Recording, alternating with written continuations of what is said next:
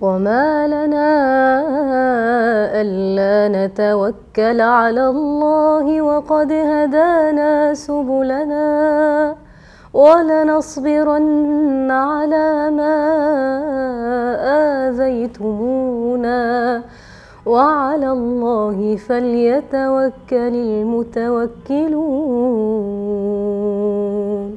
صدق الله.